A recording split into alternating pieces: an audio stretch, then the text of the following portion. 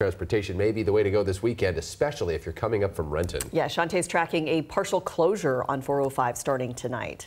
Well, Mimi and Jake, yeah, great advice because the last time we had that closure a few weeks ago, you saw extra congestion on I-5 as people tried to head northbound or southbound out near Southcenter and also across Lake Washington. So something to keep in mind because 405 will be closing again this weekend between Renton and Bellevue. So that closure is from Sunset Boulevard to Coal Creek Parkway. It starts at 11:30 tonight and will wrap up at 4 a.m on Monday. Eventually, you'll have a toll lane in that area, similar to what you have coming out of Lynnwood. Another thing that could slow you down this weekend if you're going to the game, Highway 99 will have Aurora Avenue Bridge lane reductions. That will be from 6 a.m. until 11 a.m. on Saturday and Sunday. This is on the southbound side. Two right lanes will be closed, which means you'll only have one lane open for those of you maybe heading out early to tailgate for uh, the Huskies or going out early to tailgate for the Seahawks game. Also, the southbound I-5 express lanes off ramps to Mercer.